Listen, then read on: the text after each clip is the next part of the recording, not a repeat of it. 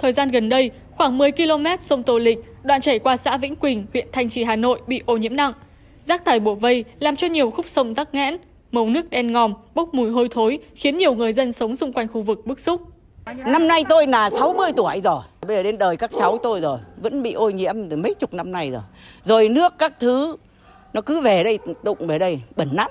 Chúng tôi dân nghèo không làm gì được. Tình trạng ô nhiễm của con sông này 20 năm rồi. Nắng mưa đều bị ảnh hưởng em ạ. Đều có mùi bốc lên, mùi kinh.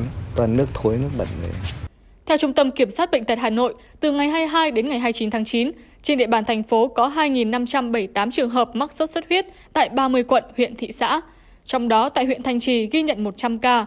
Đáng nói, tình trạng rác thải vứt tràn lan dưới lòng sông khiến rồi mũi bay khắp nơi, bọ gậy dày đặc, gây ra sự bất an đối với người dân. Ô nhiễm môi trường ở thôn Vĩnh Ninh này rất là nặng, cho nên là nó gây nên cái sốt xuất huyết. Mấy ca chết về chúng tôi ở đây sợ lắm không phải đấy đâu. Lo mà sợ, mà cái cơn ở sông này lại càng sợ nữa. Thế bây giờ là chúng tôi là người dân, chúng tôi muốn muốn nhà nước và nhân dân cùng làm để cho cái ngôi trường sống của các con em mình sau này nó đỡ ô nhiễm đi.